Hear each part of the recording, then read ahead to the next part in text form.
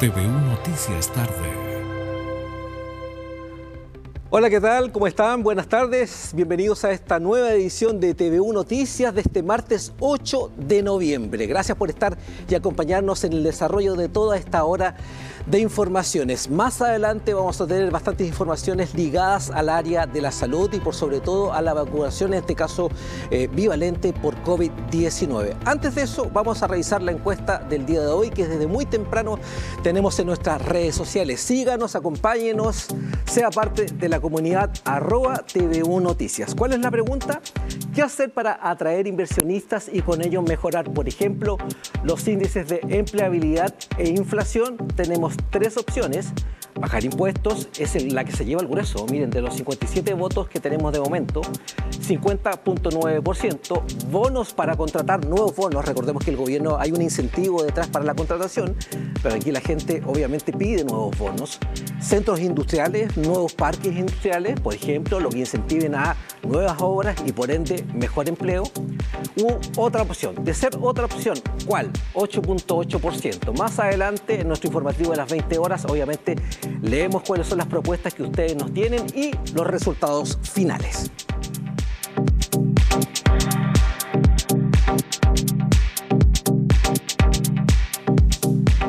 Lo indicábamos, bastante noticias ligadas al área de la salud. Una de ellas tiene que ver con el avance en cuanto a la vacuna anual bivalente. Hay un llamado en ese sentido a los adultos mayores sobre los 70 años. Camila Lagos, en este sentido, nos informa en directo. Camila, ¿qué tal? ¿Cómo estás?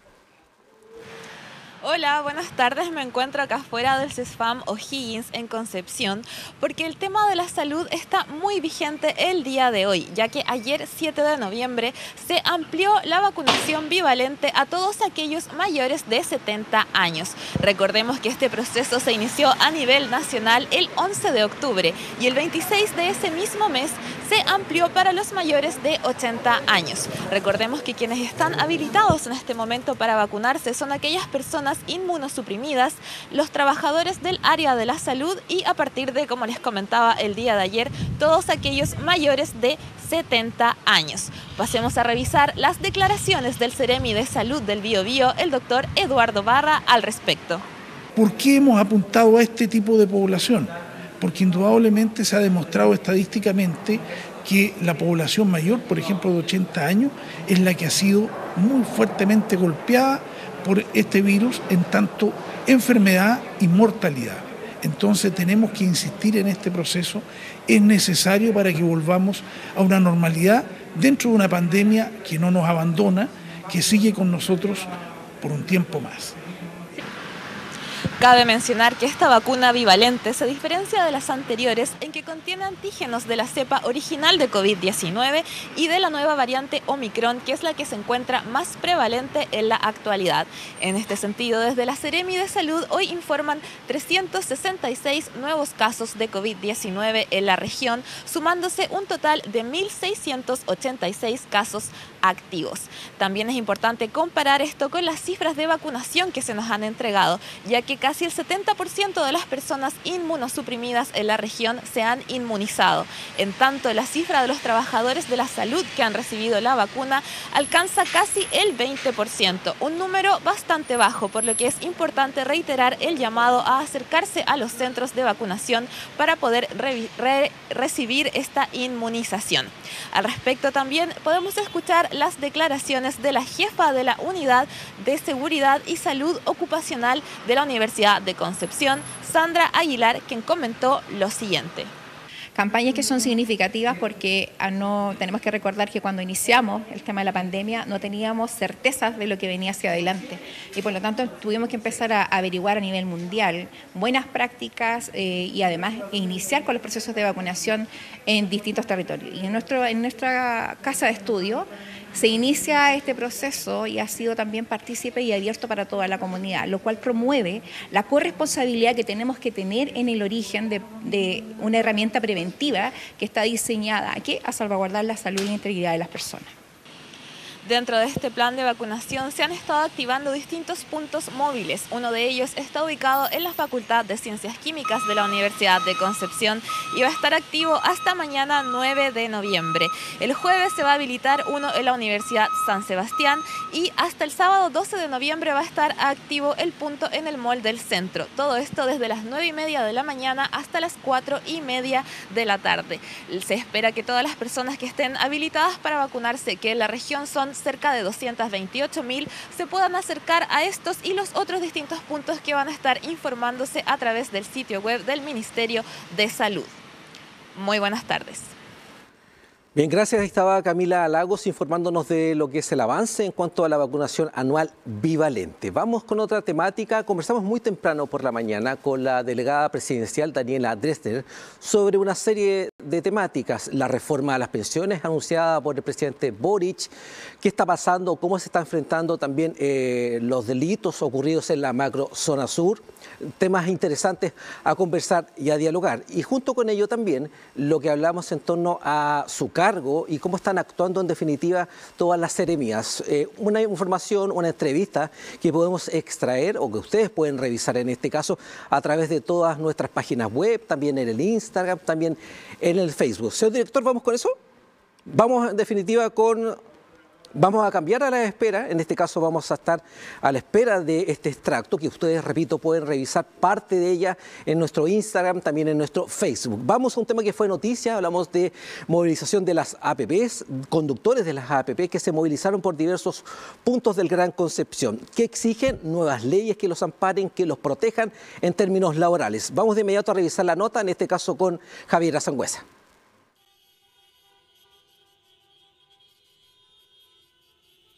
Desde el Teatro Bio Bio hasta la Plaza España de Concepción se trasladó este grupo cercano de 100 conductores de Uber, Didi, Cabify, InDriver y Bit, todos con una petición en común.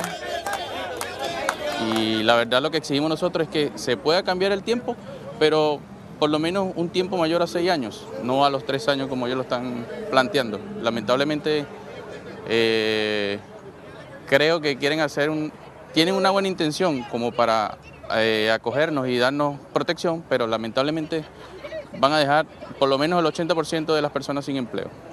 Tal como se visualiza en las ventanas de cada automóvil, la manifestación se enmarca en la pronta votación de la Ley de Empresas de Aplicaciones de Transportes, conocida como Ley Uber.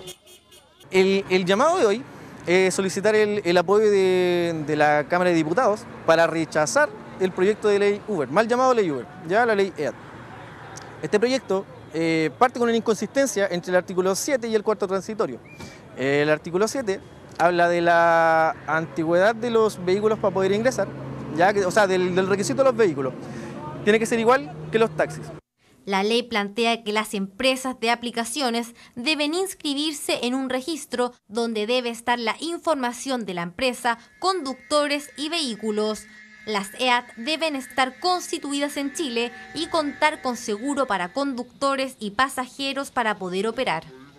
Los conductores deben contar con licencia profesional y se da un plazo para que las puedan obtener. Se permite que los taxis puedan incorporarse a las aplicaciones.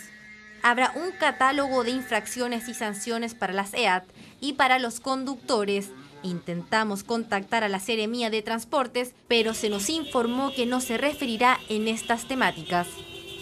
No se trata de un tema nuevo, en ningún caso, ya en julio se discutía sobre esto. Lo claro es que movilizarse a través de esta plataforma se ha transformado en una costumbre para millones de personas que valoran un el servicio, comodidad, rapidez, en fin, para otros constituye también una fuente laboral. Y en ese sentido, lo que pretendemos hacer con el proyecto de ley es regular un espacio que por mucho tiempo se ha entregado al benemérito de las aplicaciones de transporte privado.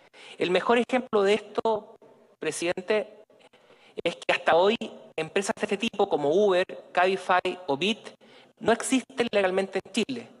No tienen un representante legal en nuestro territorio a quien presentarle un reclamo formal y por lo tanto tampoco pagan impuestos.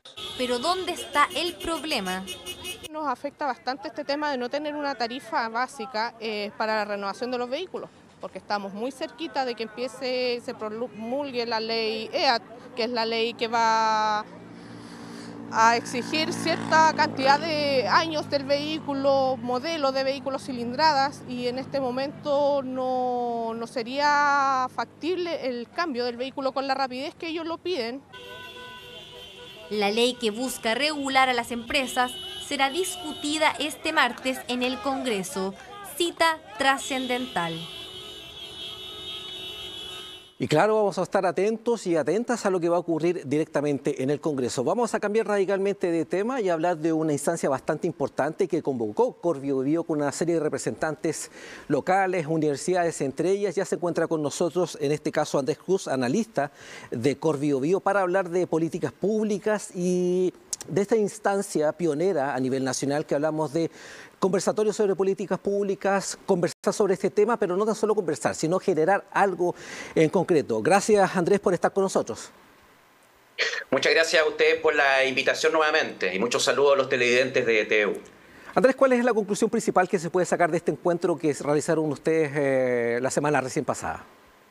Bueno, primero que nada, el hecho de haber puesto en movimiento una red nacional de políticas públicas que esté eh, compuesta por universidades no solamente de nuestro territorio, sino que también de otras regiones, con organizaciones con una sensibilidad regional profunda para evitar de que el tema quede en el olvido. Nosotros sabemos que han pasado muchas cosas en este último periodo y generalmente aspectos tan esenciales como es seguir luchando por la descentralización se nos olvida que constituye un pilar esencial para poder, ir avanzando sistemáticamente en lo que es la implementación y materialización de los derechos y políticas públicas. Y de ahí que eh, esta iniciativa haya pretendido justamente aglutinar a todos aquellos que tengan este tipo de sensibilidad, no solamente a, a nivel local, lo que nos ha permitido proyectar un informe que será entregado a las autoridades de rigor para seguir avanzando y obviamente seguir también dentro de la institucionalidad eh, reclamando por el cumplimiento de los compromisos que las autoridades han ido eh, realizando a través del tiempo. ¿Dónde precisamente está la esperanza de que este documento se transforme en algo concreto y no quede tan solo en recibir el documento, dejarlo sobre un escritorio y que se transforme en nada? Bueno, eso ha pasado muchas veces y, y la verdad es que constituye también una problemática que podría darse. Para, nada, para nadie es un misterio que el fenómeno de la descentralización es observado con mucha desconfianza a nivel central y esto trasciende los colores políticos. Aquí no se trata de una posición de un partido político, de una tendencia ideológica o de una trinchera, sino que se trata de la desconfianza generalizada a nivel central en relación a nosotros que muchas veces somos denominados de forma despectiva como los provincianos. Eh, y que no somos capaces finalmente de adoptar decisiones eh, para, para poder eh, seguir adelante e implementar políticas públicas que puedan eh, afectar la dinámica del desenvolvimiento de nuestras vidas cotidianas.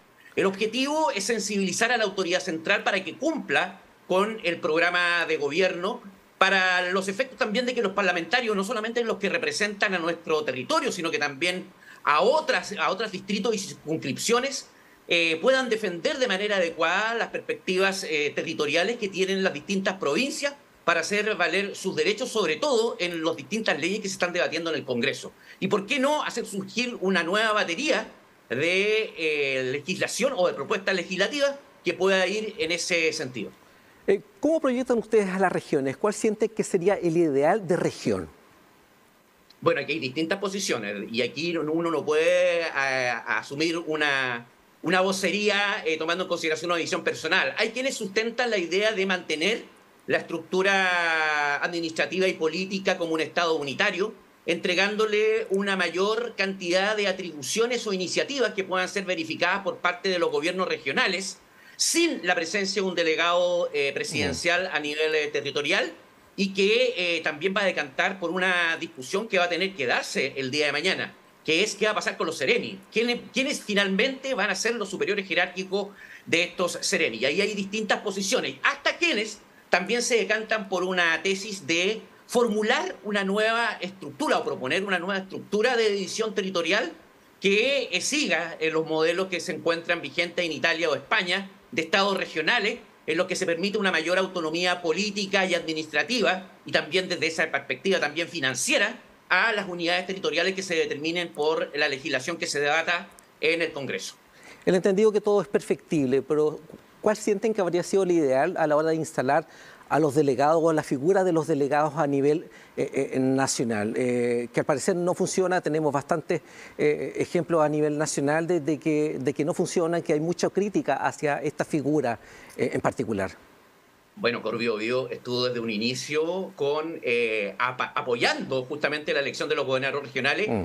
pero a su vez manifestando que este era un paso insuficiente experimental respecto de algo que se tiene que ir desarrollando con mucho más fuerza. Obviamente actualmente los gobernadores regionales pueden tener muchas ganas, pero tienen pocas atribuciones eh, desde el punto de vista político y financiero para lograr implementar políticas públicas reales y que se condicen o que puedan estar o tengan un correlato con las, las demandas a nivel local. Lamentablemente hemos visto en este último tiempo que continuamos con el contexto y la realidad de un Estado atrofiado desde el punto de vista unitario en el que todas las decisiones siguen, pese a los discursos, siguen dependiendo de lo que eh, se, decida a nivel central. ¿Cómo ha afectado los escenarios coyunturales, eh, inflación, COVID, a precisamente a una buena materialización de las políticas públicas, en el entendido que aún seguimos con un Estado y gobierno muy centralizado?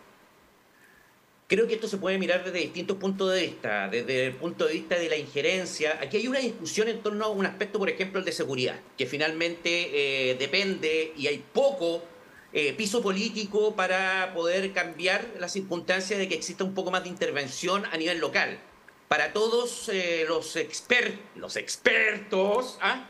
finalmente la idea es que este poder, esta fuerza, policial se mantenga eh, a nivel centralizado y que únicamente las injerencias políticas a nivel local puedan recomendar eh, la implementación o finalmente la movilización de las mismas a nivel territorial. Creo que eso es algo que hay que revisar. Desde el punto de vista de la salud, la educación, obviamente que también decisiones a nivel central que no tomen en consideración las realidades socioculturales y geográficas de cada uno de los territorios eh, están destinadas lamentablemente a fracasar o a tener un, avance sistemáticamente eh, mucho más eh, o menor o inferior al que estamos o al que se pretendía eh, al momento de su instalación. Y otro aspecto que resulta ser indispensable, ¿ah?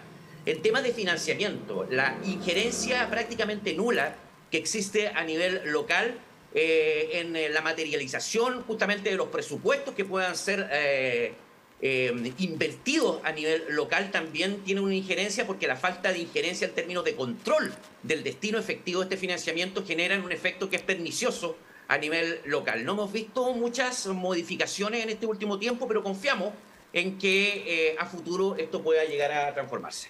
Andrés, lo invito a ustedes también a la gente que nos está escuchando a través de las redes sociales, también viendo en sus televisores o en sus teléfonos inteligentes, a complementar gran parte de lo que estamos conversando, algunas conclusiones y entrevistas como parte de este encuentro en torno a las políticas públicas que ustedes lideraron. Vamos a escuchar en este caso al doctor Carlos Saavedra, rector de la Universidad de Concepción, y a Jorge Cerón, expresidente de la Corma, para complementar lo que estamos conversando la posibilidad de integrar a distintos actores, a representantes del, Estado, del gobierno, al sector privado y a la academia, resulta, tal como había dicho, trascendental para, para el momento que vive nuestro país. Aquí claramente hay que hacer una gestión estratégica de descentralización de la provisión de servicios que hace el Estado. Si no logramos avanzar en eso, eh, van a existir muchos seminarios como este. Va a seguir el mismo tema, vamos a dar vuelta siempre en la misma condición, pero nos está faltando la decisión de avanzar y gestionar. Ahí planteaba Jorge Cerón temas clave que usted también tocaba, decisión, gestión, pero gestión rápida, ahora. Sí, nosotros confiamos en que este gobierno se ha comprometido fehacientemente con el proceso de centralización, regionalización. Estamos a puertas también o en una oportunidad dentro de eh, la apertura de un nuevo proceso constituyente que creo que también puede ser una oportunidad y que eh, tiene que tomar en cuenta la experiencia que se ha vertido y la discusión que se ha dado hasta este momento para determinar eh, o materializar esa voluntad que tanto ha faltado, porque aquí yo creo que más que discusiones, informes obviamente tienen que existir para presionar la, la necesaria y definitiva voluntad política para lograr finalmente este proceso tan necesario de descentralización que reclamamos en las distintas regiones y provincias de nuestro Chile. Bien, Andrés, gracias por estar con nosotros en esta edición tarde de TV1 Noticias. Gracias a ustedes por la invitación. Bien, ahí escuchábamos y también veíamos a Andrés Cruz, analista de Corvio analizando no tan solo el encuentro esta Red Nacional de Políticas Públicas que puso en marcha Corvio sino yendo más allá, cómo están funcionando las políticas públicas, lo importante que es descentralizar. Vamos a seguir avanzando en la pauta informativa. Director, vamos con la entrevista con Daliela Dresser. Bien, vamos ahora sí. Lo indicábamos en la mañana muy temprano, conversamos con la delegada presidencial sobre una serie de temáticas, eh, macro zona sur, qué se está haciendo en este tema en materia delictual, cómo enfrentar este tipo de conflictos y también qué pasa a nivel eh, global, general, en términos políticos, en términos de gobiernos locales, cómo funcionan las seremías y cosas por ese tipo. Eh, vamos, ¿qué les parece? A conocer un extracto de esta entrevista que hoy día en la mañana tuvimos con la delegada presidencial presidencial, Daniela Dresser. ¿Y se está conversando con las comunidades? Efectivamente, eso también es algo que está ocurriendo. Nosotros acá en la región del Biobío solamente hemos conversado con más de 200 comunidades. Eh, tenemos además proyectos de inversión que son proyectos sentidos por las comunidades. Estamos recuperando la conectividad de las antenas, ¿cierto? De, de comunicaciones, que es algo también que era muy sentido por la población de la zona. Llevamos alrededor de 7, 8 antenas recuperadas, ¿cierto? En la zona que es la zona de Cañete, Contulmo, Tirúa. Pero en zonas como, por ejemplo, de Puerto Choque, San Ramón, ¿se ha ido a conversar ahí? ¿Existe diálogo, conexión con ellos? Bueno, yo, yo lo digo, a través del de, eh, programa Plan Buen Vivir, ¿cierto? Tenemos gente que tenemos gente que está constantemente Pero en esta zona en específico que yo planteo. Eh, insisto, sí, o sea, en, en, toda la zona de Tirúa estamos hablando con alrededor de 50 organizaciones y 50 comunidades, ¿cierto? Que están alrededor de esa zona y que tenemos un trabajo permanente y constante con ellas. Nosotros hemos hecho también un análisis eh, a propósito, ¿cierto?, de, de estos últimos meses. Eh, de qué es lo que hay que cambiar, qué es lo que hay que hacer mejor. Y hemos hecho muchos cambios respecto de eso también. Eh, y eso es lo que nos compete a nosotros. ¿Cómo podemos mejorar nuestro trabajo? Después, si es que hay que cambiar algo, bueno, eso es algo que también va a ser una conversación de evaluación dentro de la región, pero también de los distintos ministerios, ¿cierto? De las entidades nacionales respecto de cómo están viendo el funcionamiento del gobierno. ¿Usted sigue en su cargo?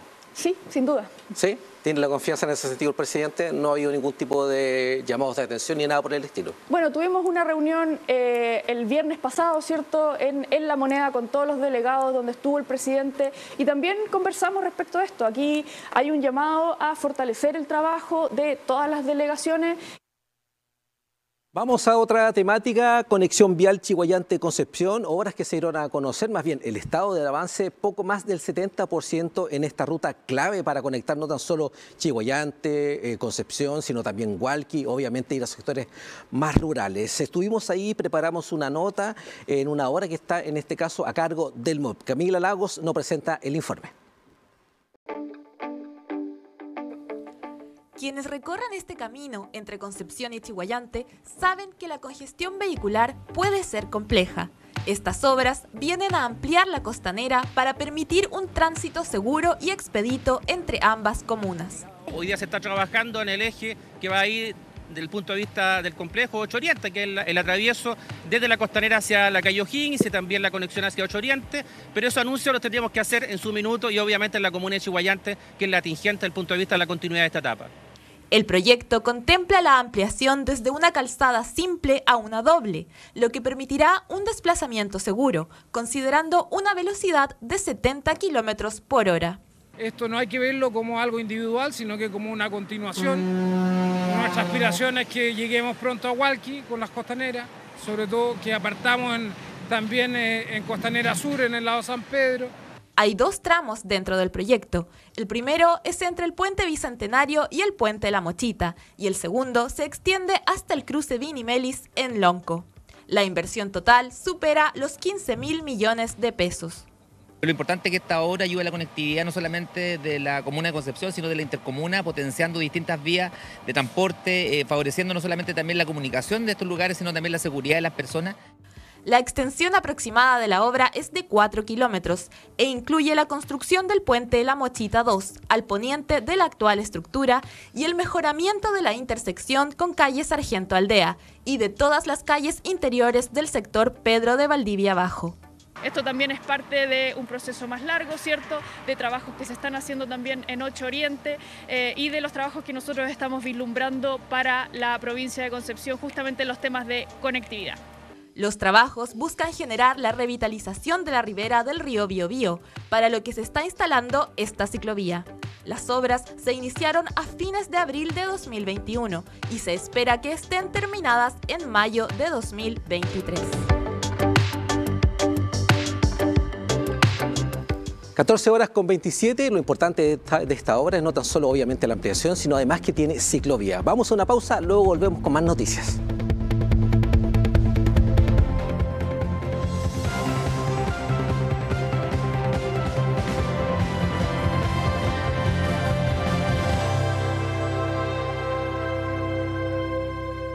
Me gustas cuando callas porque estás como ausente. Wow, me tocaste la fibra. ¿Dijiste fibra? Cámbiate a la internet fibra más rápida y estable de Chile. Mundo, tecnología al alcance de todos.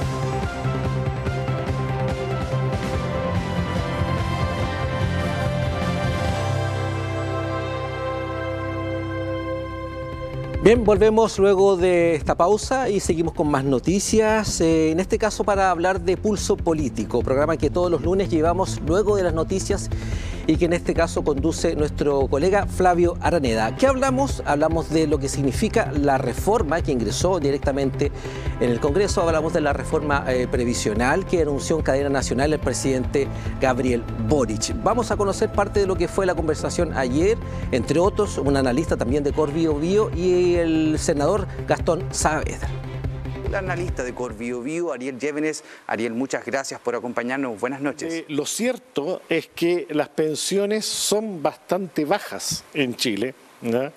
De eso ya se daba cuenta desde hace muchos años y entonces el proyecto que emerge hoy día eh, aparece, por cierto, resolviendo una problemática que no es eh, estrictamente de hoy, sino que ya se viene arrastrando desde hace bastante tiempo y que requiere de eh, soluciones urgentes.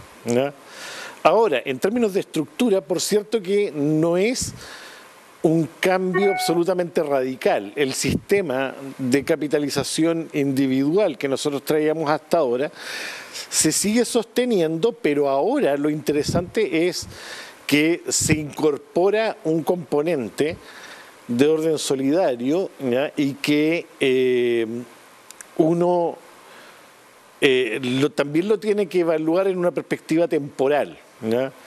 Porque si bien es cierto, uno podría pensar que con el incremento de los aportes se podrían resolver las pensiones hacia futuro, tenemos el problema de las bajas pensiones hoy día se les dijo a los chilenos que iban a tener una tasa de retorno, es decir, una pensión entre 75 y el 100% cuando menos de su, eh, de su eh, jubilación respecto al sueldo. El pilar solidario, que es la pensión garantizada universal, que se apuesta que llegue a 250 mil pesos y que esta, por lo tanto, se financie con los ingresos que tiene el, el, Estado a través de los impuestos y por eso que esto está intrínsecamente legado a que tenemos que aprobar la reforma tributaria para tener más recursos.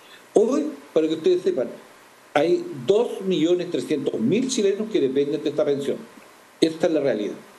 Y por otra parte, yo te agrego a lo que tú dijiste, el 25% de los chilenos que están pensionados tienen una pensión inferior al nivel de superación de la pobreza, es decir, 206 mil pesos creo que Bien, ahí veían parte de lo que fue esta entrevista, más que entrevista, conversación que tuvo Flavio Araneda con el analista de Corvio Bio eh, y también con el senador eh, socialista, en este caso Gastón Saavedra, en Pulso Político. Corresponde mensaje directo. Vamos a una información perdón, bastante importante que se genera en este caso en la bahía de Coronel y que trata de que se levanta la prohibición de extracción, venta y consumo de moluscos y otras especies. Mientras revisamos imágenes de archivo, digamos que este lunes, es decir, ayer, la Seremi de Salud, de Salud del Bio Bio, mediante una resolución, resolvió el alzamiento de la prohibición de extracción, transporte, elaboración, comercialización y consumo de moluscos y otras especies que afectó a la bahía de Coronel por presencia de marea roja asociada a veneno amésico de mariscos.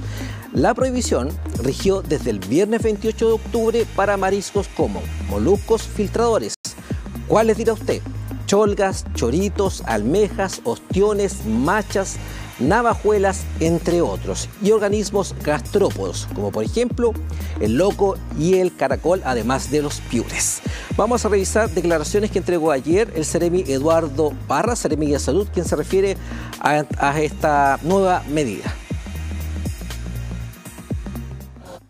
Tras dos muestras cuyos resultados se encuentran bajo los valores considerados nocivos para el consumo humano, y con tendencia a la baja, desde hoy lunes 7 de noviembre se levanta la medida de prohibición para la extracción, transporte, elaboración, comercialización y consumo de mariscos bivalvos y otras especies de moluscos, que afectó a la bahía de Coronel entre el límite norte Punta Puchoco y límite sur Punta Norte, por lo que desde ahora se pueden consumir todos los productos extraídos desde dicha zona y en todo el borde costero de nuestra región.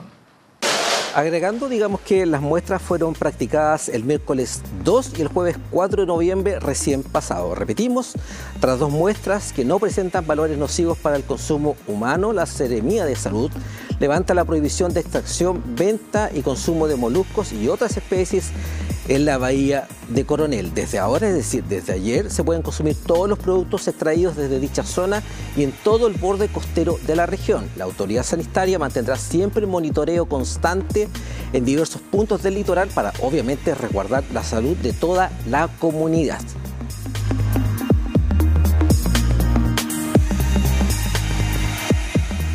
Seguimos en la comuna de Coronel, pero en otra eh, temática absolutamente distinta. Y en este caso hablamos de brigadas de cuidado del agua. Mire, bastante importante. Se trata de 25 niñas y niños de la escuela Remigio Castro de la comuna de Coronel. Revisamos imágenes de lo que fue esto.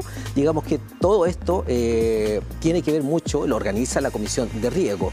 En estricto rigor, eh, quienes fueron investidos de, esta, de este nuevo rótulo de brigadistas del cuidado del agua fueron investidos para participar de charlas educativas de la Comisión Nacional de Riego. La iniciativa entregó el desarrollo de experiencias en terreno y un ciclo de charlas educativas sobre la relación del recurso hídrico y el medio ambiente. Escuchemos qué les parece parte de lo que dijeron las autoridades, entre ellas la Ceremi de Agricultura y el coordinador eh, regional de Zonal Bio Bio Ñuble de la Comisión Nacional de Riego, Jorge Muñoz. Eh, apoyando esta importante iniciativa de la investidura de brigadista del agua. Esto en un programa también de apoyo que tiene la CNR, que es Yo Cuido el Agua. Como gobierno estamos preocupados de cuidar los recursos hídricos y esto eh, eh, de motivar, de incentivar y de inculcar a los niños que también nos apoyen en el cuidado del medio ambiente es muy importante en acompañarlos en esta actividad. Nosotros primero que todo estamos muy muy contentos y agradecidos por la confianza que ha depositado el colegio, los alumnos y profesores en considerarnos como institución para poder acompañarlos en este gran camino que es el cuidado del agua. Y nosotros nos comprometimos al llamado, hemos participado en capacitación, en charlas, y para nosotros es muy gratificante atendiendo que hoy día, ante la gran crisis climática que enfrentamos, es muy, muy importante, fundamental el cuidado del agua Así como institución lo estamos haciendo a través de mejorar la eficiencia de los sistemas de riego, canales y obras, obras mayores.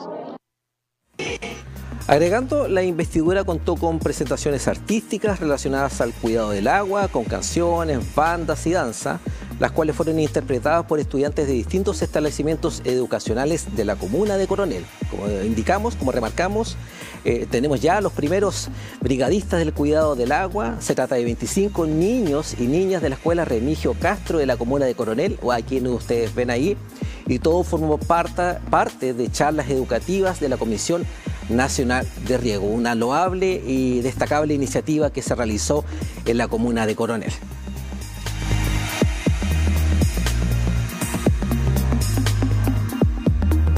Y de Quillón nos vamos a la región de Ñuble, en concreto a la comuna balneario, a Quillón, que en esta época ya se, se, llena de bastantes turistas, sobre todo entrado diciembre y de entrado enero.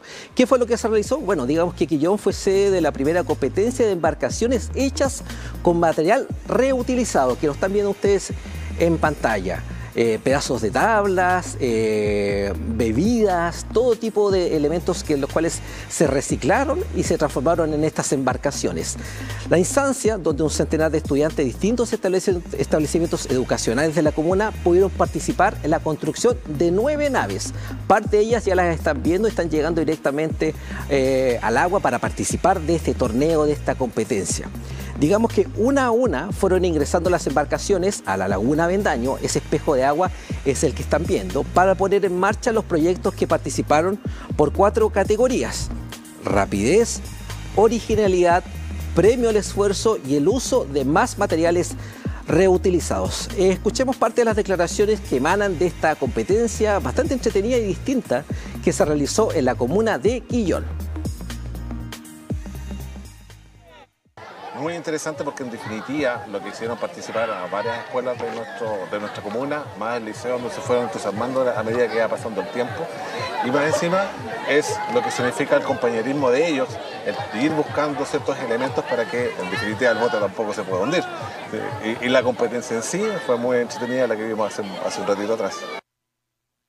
Fue la, lo de construcción fue increíble, todos nos apoyamos, y fue muy divertido también porque además lo tratamos como más un juego y fue increíble. Lo del navegar igual fue increíble. Exacto, nosotros las cosas las pudimos encontrar en distintas partes, las pudimos encontrar en botillería, gente que tenía material reciclable en su casa, como por ejemplo botellas, encontramos lingas plásticas que se ocupan como para amarrar palets, eso lo reciclamos todo desde una ferretería y de algunos otros lugares que encontramos y pudimos trabajar con eso y poder afianzar y dejar muy firme nuestro bote para que pudiera navegar, obviamente. Sinceramente fue muy emocionante tener que estar ahí pensando cómo, armarlo o que fuera a flotar, los nervios más que nada siempre son los que matan a uno.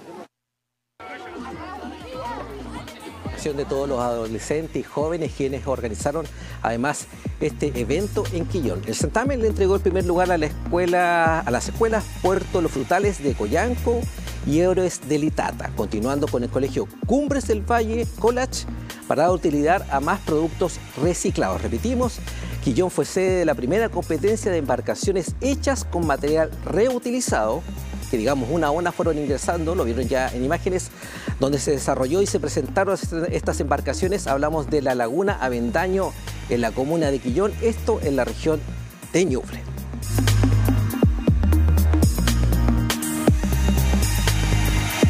Vamos a un evento que vamos a transmitir nosotros como canal domingo 20 de noviembre a las 9 de la mañana aproximadamente y hablamos de la corrida Cuatro Lagunas, un evento eh, deportivo que ya es una tradición a nivel de la región del Biobío y que compite en tres eh, eh, estilos, más bien competencias de extensión. Hablamos de tres 5 y 10K.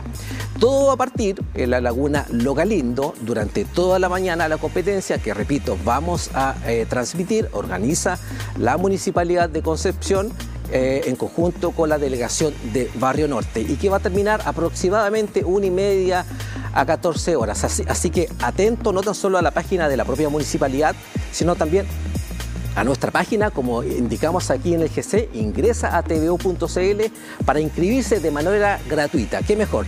Llamado a todos los deportistas, atletas, aquellos que eh, gustan del runner para participar directamente de este tipo de evento deportivo absolutamente sano.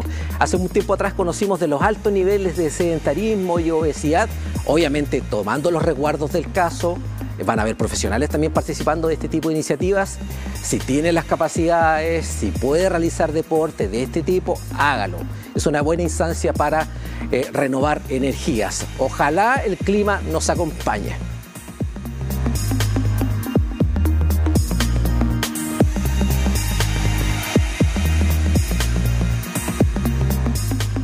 Seguimos con deporte, en este caso vamos directo a Twitter, una importante información que se genera en el ámbito futbolístico, en el fútbol profesional, en este caso ligado a la Universidad de Concepción. Recordemos, se está jugando la fase de liguilla en la primera división B y ayer se jugó un importante partido en estas llaves de ida y vuelta que encabeza la Universidad de Concepción, partido que se jugó en el estadio Esterroa, como ven ustedes acá en el destacado de C.D.U.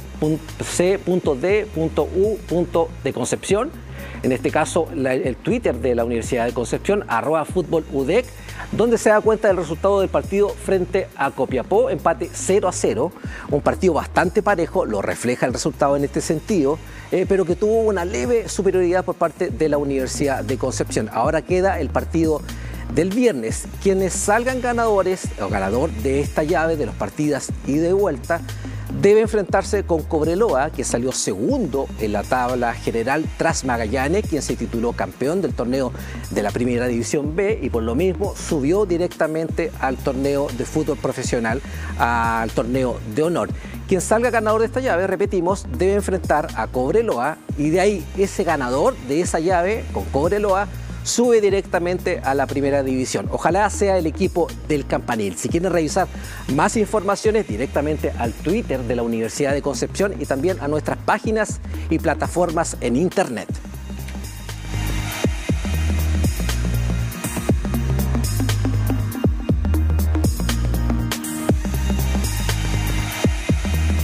Bien, vamos a revisar lo que se prevé para noviembre y diciembre en materia de cultura, en materia de espectáculos, en materia de arte. Hay una presencia bastante importante. Vienen acá a la región del Biobío los fabulosos Cadillacs, una banda emblemática no tan solo del rock argentino, sino del rock latinoamericano. Vamos a revisar qué les parece. Tome lápiz y papel a la antigua y anote para ser parte de una de las actividades que le proponemos.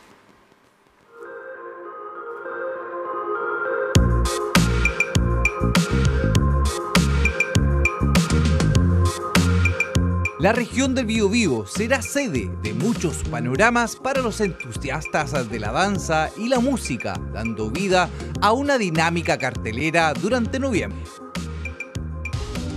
El Festival Loft Escenas Bifurcadas consiste en un encuentro internacional de danza contemporánea. Se realizará desde el 7 al 26 de noviembre en Concepción, dando uso a los espacios culturales y públicos de la ciudad. Festival Loft ofrece una propuesta que incluye residencias, clases abiertas y presentaciones de diversas obras. La inauguración del festival tendrá lugar en los lunes cinematográficos de Corcuderc, con la exhibición de tres trabajos audiovisuales de Chile, Brasil y España.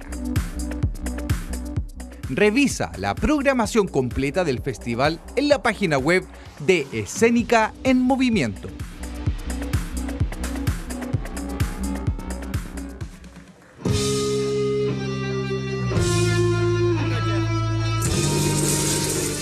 Este es el grupo musical estadounidense Stickman. Está conformado por Tony Levine, Pat Mastelotto y Marcus Reuter, quienes han formado parte de la base rítmica de la banda Green Crimson. Stickman llevará el sonido más puro del rock progresivo al escenario del Teatro UDEC el próximo 19 de noviembre a las 20 horas.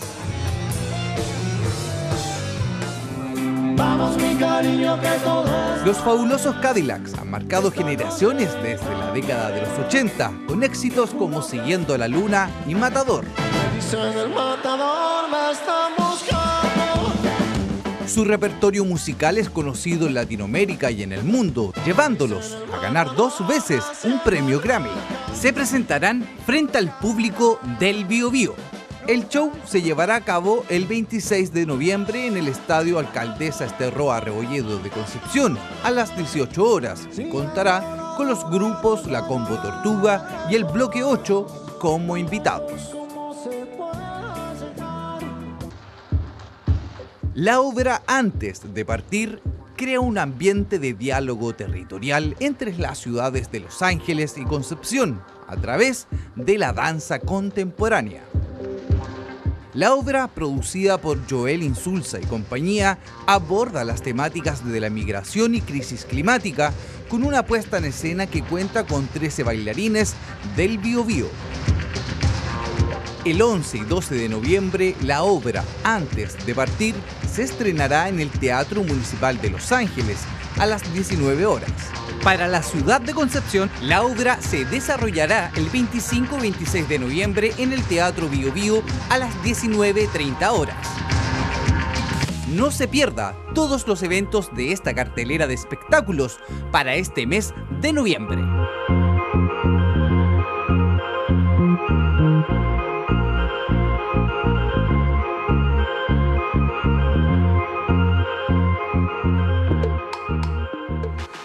Seguimos con más noticias. Es un tema que se ha transformado en recurrente y constante. Hablamos de los problemas que viven los extranjeros acá en la región del Biobío y ni siquiera en la región del Biobío, sino a nivel país.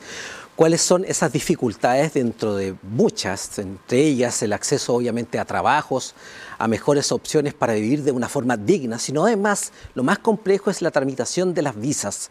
Este tema lo transformamos eh, y lo llevamos en profundidad en un reportaje y vino hasta acá al estudio el director regional de migraciones del gobierno chileno para explicarnos en definitiva cuál es la perspectiva, cuál es la fotografía que hacen ellos de lo que está pasando a nivel regional y qué tipo de trabajo se está realizando en torno a este tipo de tramitaciones que algunos dicen que es por falta de personal, otros por burocracia Migraciones se defiende señalando que el trabajo se está realizando, que existen las opciones para tramitar de forma más rápida las visas. Escuchemos en este sentido parte de una entrevista que tuvimos con el director.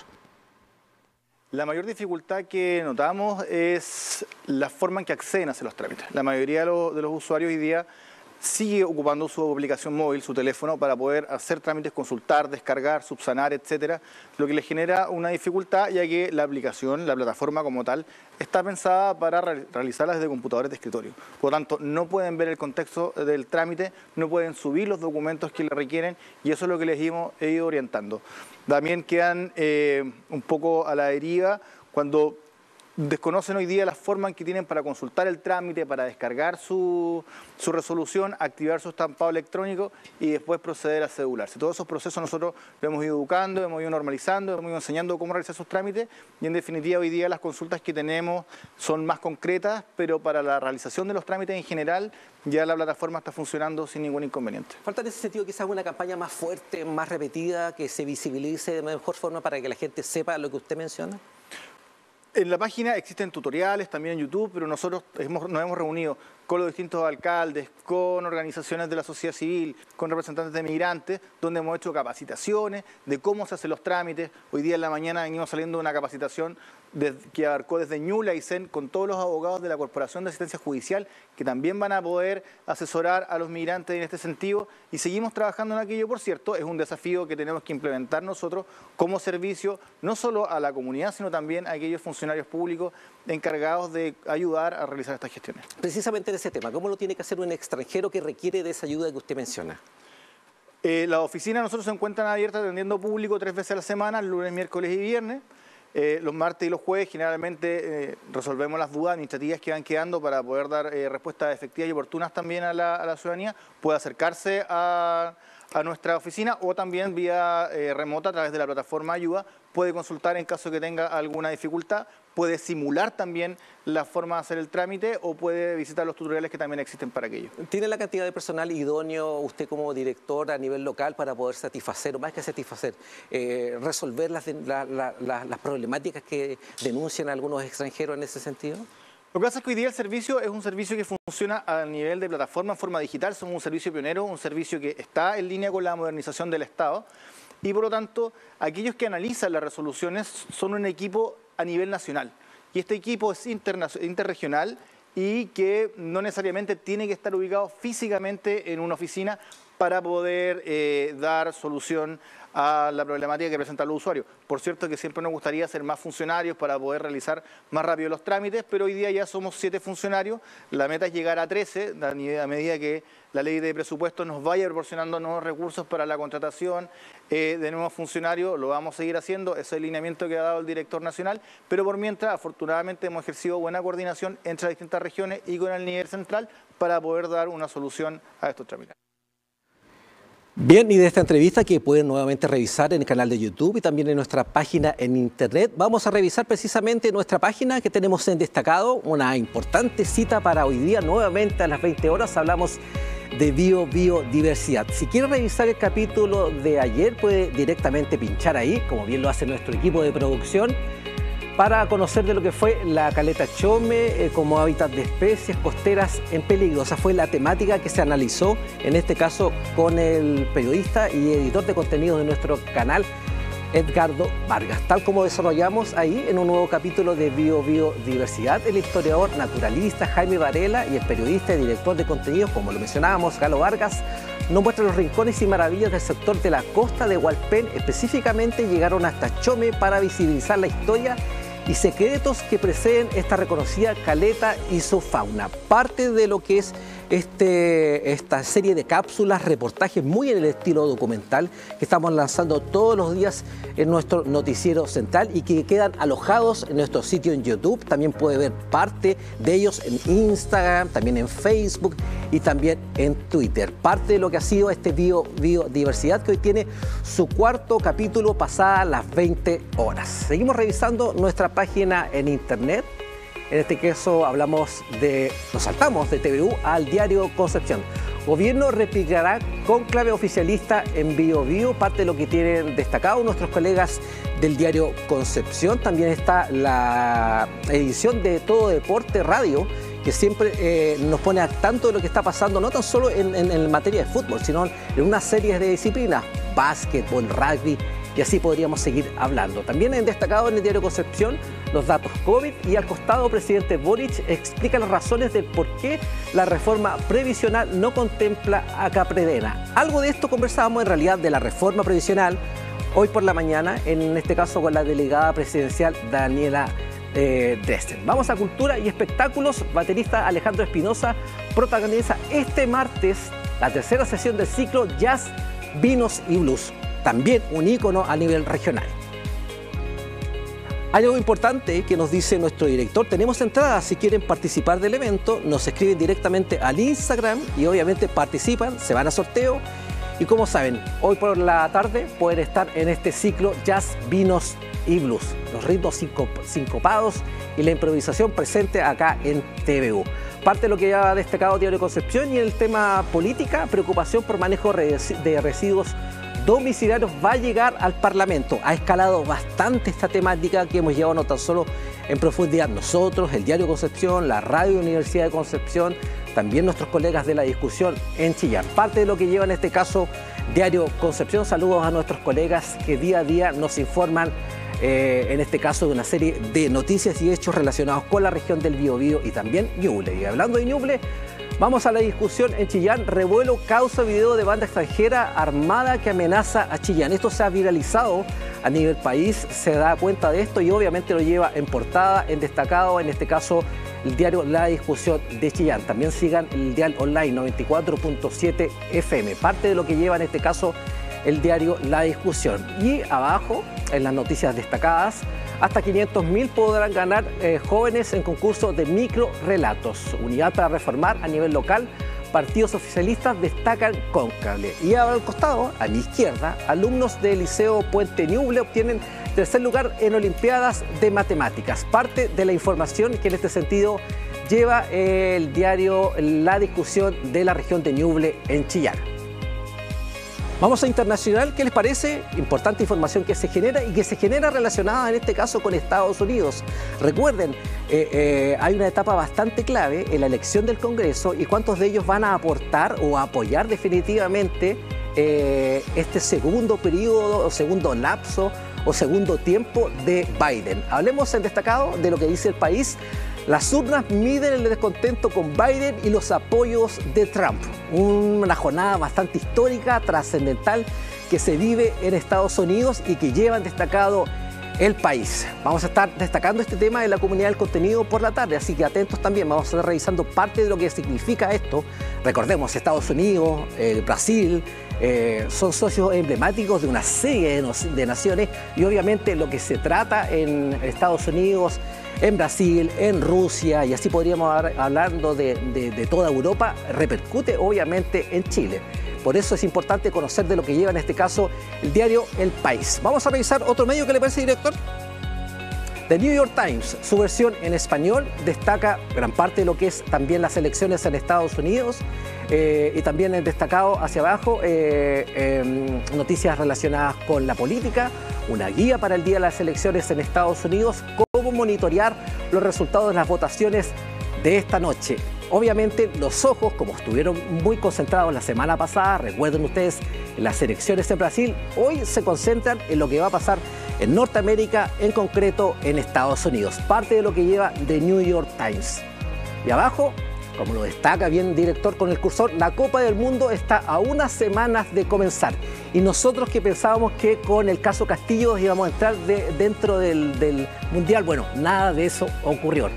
Eh, Qatar está a la vuelta de la esquina, ya hay una serie de promociones, nosotros, también hemos destacado obviamente lo que significa en términos deportivos este encuentro mundial. ¿Por quién apuesta usted? Muchos dicen que Brasil, otros dicen que Alemania, eh, otros dicen que la sorpresa la puede dar Argentina, otros apelan directamente a Bélgica como la sorpresa, incluso también eh, Holanda. No vamos a decir Italia obviamente, Italia no está parte del mundial. ¿A qué, niveles llega la pobreza, la desigualdad y la corrupción en Estados Unidos y cómo se compara con América Latina? En este caso lo lleva la BBC News Mundo. Lo decíamos, los ojos del mundo están concentrados en lo que pasa en Estados Unidos. Hasta ahí la revisión de los medios nacionales, regionales y también internacionales. Vamos a revisar el tiempo que les parece, cómo va a estar la jornada para los próximos días acá en la región del Biobío bastante nublada, la jornada bastante fría desde muy temprano acá en la capital de la región del Bío Bío Concepción, que ahí lo ven. Martes, ¿qué se proyecta para la tarde ya? 16 grados. Para mañana, que lo acompañen las parcas y en este sentido un café bien cargado porque va a estar lloviendo y la temperatura va a ser más baja que de hoy, 13 grados y la máxima de 14. Para el jueves, parcialmente nublado, máxima de 15.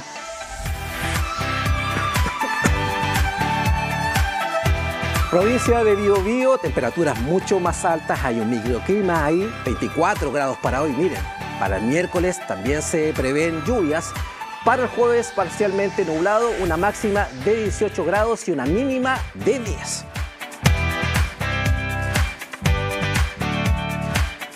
Y de la provincia de Biobío nos vamos a la provincia de Arauco, a la comuna de Lebu, la ciudad de los vientos. Martes, hoy bastante frío igual, máxima de 16 grados. Miércoles, lo mismo va a pasar también en la región de Ñuble, va a haber lluvia, eh, temperaturas bajas, la máxima va a ser de 14 grados y el jueves máxima de 15. Así nos espera, o más bien así se está presentando la primavera acá en nuestro país. Bien, y con esta información nos despedimos. Manténgase la sintonía de TVU. Más tarde, la comunidad del contenido y a las 20 horas, eh, nuestra edición central de TVU Noticias. Chao, que esté muy bien.